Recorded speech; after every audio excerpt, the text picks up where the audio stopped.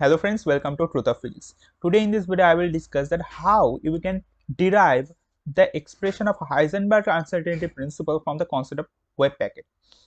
Now this video is going to be very much interesting. Okay. Now uh, what why we need to uh, study the wave packet or the why the concept of wave packet comes in the picture of in in quantum mechanics now it is a uh, another topic. Uh, if you want to discuss if you want to learn that then comment below in this video's comment box. Uh, i will make an another video discussing the basic concepts and the need why to uh, study the wave packet okay? And the basic formalisms also i will discuss in that video okay? Now wave packet um, is uh, really very important to understand uh, or to describe the wave function of a free particle. Okay. Now if we consider gaussian wave packet gaussian wave packet then the momentum wave function phi k is equals to some constant a which will be later uh, uh determined using the um, proper normalization okay? So a some constant into e to the power minus a square k minus k naught whole square divided by 4 this. Now from this using the concept of fourier transform if you uh, make the inverse fourier transform then you will get psi x. That is the position wave function of that particle. Now psi x will be equals to uh, just 1 by root over 2 pi integration minus infinity to plus infinity phi of k e to the power i k naught x dk. If you do these things and first you have to normalize this and find the constant a okay if you do these things then you will get the psi x to be equals to psi x is equals to some another constant into e to the power minus x square over a square e to the power i k naught x. Now you can see easily that this is what an another Gaussian function that means uh, the position wave function is a Gaussian wave function and the our momentum wave function was also a Gaussian wave function. Now if, if we want to draw these things then we'll come across these things um,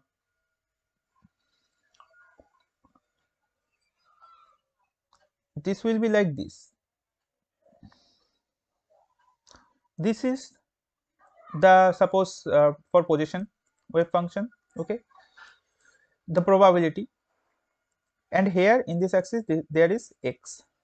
Now you can easily understand from this that at x equals to 0 if we put x equals to 0 that means this will be maximum right?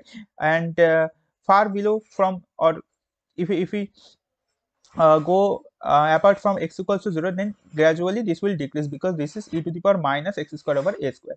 So the form will be just like this right? And, and this point is nothing but our 0 point. Now what will the wave function of the uh, this the momentum space the momentum wave function? That will be simply similar like this. And here it is the axis is k the wave number. Now if we consider um, so here you can see that for this function this wave function to be maximum you have to put the k equals to k naught right? At k equals to k naught this this will be maximum. That means this point is k naught right? That means this wave function is centered at its center is at x equals to 0 but its center is at x equal uh, k equals to k naught okay now we'll define the half widths del x and del k. But I'm just uh, discussing that. Del x means if we displace from this point, if we displace from this point like this, suppose this is our del x, delta x. Similarly, this is our delta k if we move we are defining if we move from this point to this point then our wave function then our wave function will come down to half of half of its maximum maximum value that means here the wave function will be half of its maximum value if we move del x and del x is also the half width. What is that? Let us understand with a simple thing that here what will the form the wave function or the uh, mod of psi x square. Now what will the mod of psi x square? Let us write let us write that first. mod of psi if we take the mod of this thing then it will be just v square some constant into e to the power minus 2x square over a square into e to the power i k x e to the power i naught x into its complex means e to the power minus i naught x that means that will be just vanished so this will be here and at x equals to 0 if we put x equal to 0 here that means this will be just v square. So here the wave function this will be just b square this thing okay? And here what will be that? Here it will be just delta x square over a square right? If we put delta x here and we are uh, defining delta x to be the half width that means it's half half width half width okay? That means then here at this point the wave function psi of x square will be b square e to the power minus 2 into a by 2 its whole square half width for x equals to a by 2 right? Divided by this a square so it will gradually become b square e to the power uh, minus 1 by 2 right? So you can easily understand the ratio of this and this will be just if you divide this by this then the ratio will be just e to the power minus half right? So the wave function psi of x is dropping to e to the power minus half when we move delta x from x equals to 0 similarly if we move delta k from k equals to k naught this point from k equals to k naught then we will come again. Or the wave function the mod square of the wave function will drop down to e to the power minus half this quantity right? So now we'll use this thing. So we can write that psi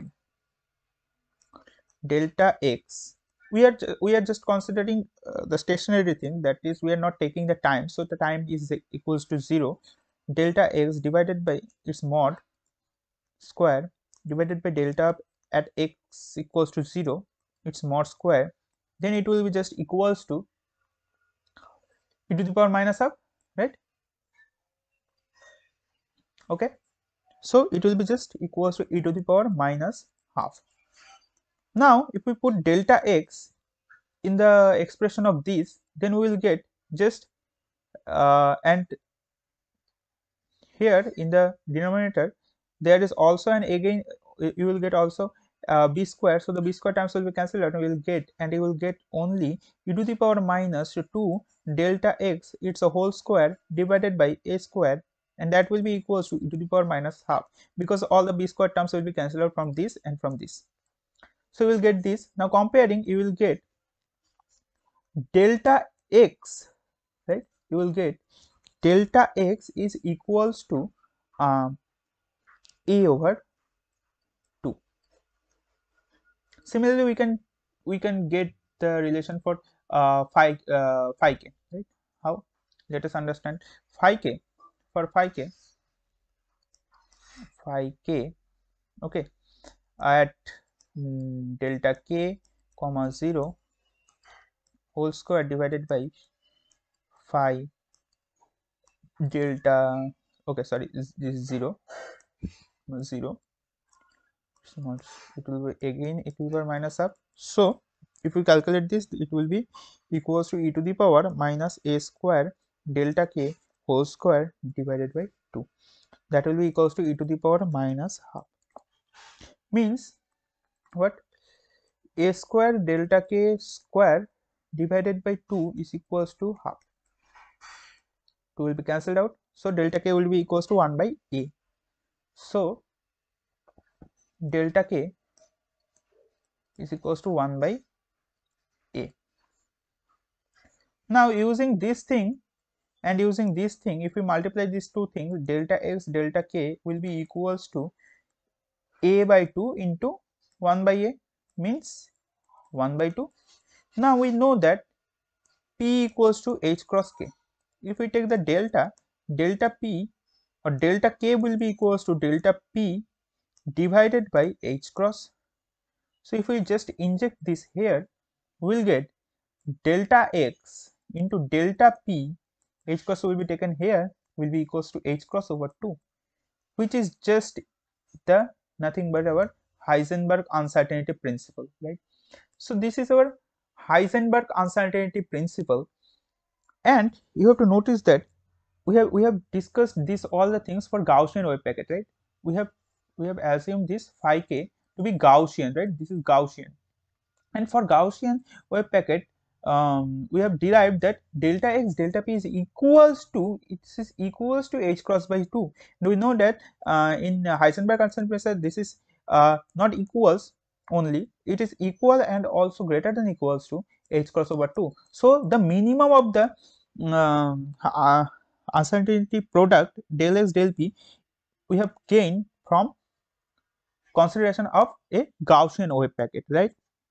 So in another word you can say that the Gaussian wave packet is, is the lowest bound of the uncertainty principle. Okay? Or you can say that the Gaussian wave packet is the minimum uncertainty wave packet so this is what? The minimum uncertainty wave packet minimum. And if you if you consider another type of wave packet then you will always get delta x delta p greater than h cross over 2 only the Gaussian wave packet will uh, give you the equal to sign. That means the minimum of the uncertainty okay so this is all about today's video. I think you have enjoyed uh, that uh, how beautifully the concept of wave packet can derive the expression of Heisenberg uncertainty principle which is a basic and fundamental uh, principle in quantum mechanics. So uh, for getting notifications of my upcoming videos subscribe this channel hit the bell icon and share this video with your friends. So take care of yourself. Thanks for watching